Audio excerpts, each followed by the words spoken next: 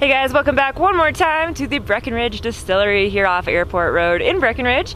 And I'm Andy and I've got my co-host here, Jesse, with us, who also happens to deal with marketing for the Breckenridge Distillery as well. Now, if you've joined us earlier in the show, we've been making our way through the facility here and we are currently hanging out on the awesome back patio. We've been distracted by the games here and you, I mean, aside from the, the drinks, aside from that, you guys have this gorgeous space where you can hang out and there's uh, lunch now available too. Yeah, so last summer we, launched uh, we launched lunch for the first time, and we do a Kansas City style barbecue, and we serve it right out of our food truck so people can come in, order at the bar, and then come hang out on the patio, grab a cocktail, play bags, cornhole. We have ring toss over there, which my office is right there, and it's so fun watching people like actually get the ring toss and be like, woo!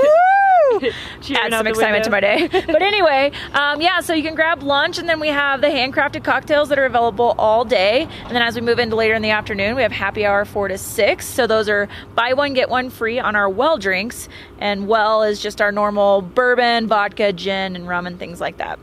And carrying on into the dinner time frame, you have the fabulous dinner menu by Chef David Burke. That's the kind of a I put that together for you guys. Yeah, it is so delicious, and it actually has plenty of options for gluten free, vegetarian, and then it has some kind of off the wall items. So it's not just your typical um, burger and steak. So we have a lot of options. We call it modern American uh, with altitude. Yeah, okay. um, so yeah, he comes in and he designs our menu.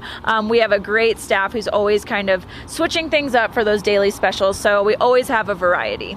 And I like that on the menu too, like you're explaining, you know, there's like those things that you would think of as like traditional comfort foods, like you got the chicken and pasta, but then it's really so unique.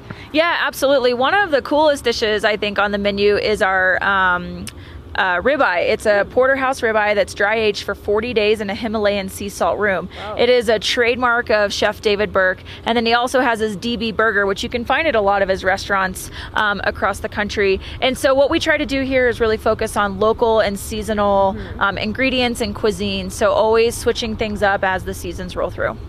So something always unique to experience when you come here to the Breckenridge Distillery, whether it be for lunch or dinner or possibly for a tour. Yeah, tours, uh, buying some swag and some bottles from our um, retail shop, or just coming out to honestly like have a sweet adventure out on the mountain or mountain biking. Come back and sit on our patio or on the little lounge area and just grab a cocktail and just cool off. It's it's really such a cool experience here.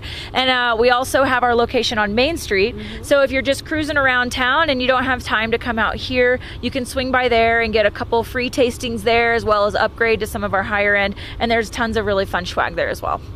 And I love with, you know, coming over to the location here with the cocktail menu you guys offer, it really provides like a, a, interesting way to experience the different types of liqueurs and, you know, in ways that you maybe wouldn't make a beverage at home. Yeah, I always get caught up sitting at the bar and just watching our bartenders craft these drinks. I mean, it is really interesting to see how much passion and creativity they put into each cocktail. And you actually can learn something. So we have cocktail cards um, in the retail shop. So if you buy a bottle of rum or vodka or gin, um, take one of those cocktail cards home and then you can kind of elevate your experience at home and make some really cool drinks like an old fashioned or um, you know some of those prohibition style drinks that I would never know how to make until I sit here and watch them. We'll stop on over here to the Breckenridge Distillery and a reminder of where we're at here on Airport Road. Yeah, so right now at 1925 Airport Road, just north of Breckenridge. And then we also have our Main Street location at 137 um, South Main Street, right in the Blue River Plaza. Awesome. Well, thanks so much for having us here this week. Yep. Thank you for stopping by. well, come on over, you guys. Lunch will be kicking off here in a couple hours, or you could stop in later on for dinner. And then they offer tours daily. So come on over to the Breckenridge Distillery and experience some of the delicious food and cocktails that they have to offer. We're going to probably get to some yard games here in a minute. So we're going to send things back to the studio. So that is it for us over here in Breck. But I will see you guys next week, Wednesday, Thursday, Friday, live for Summit Sunrise.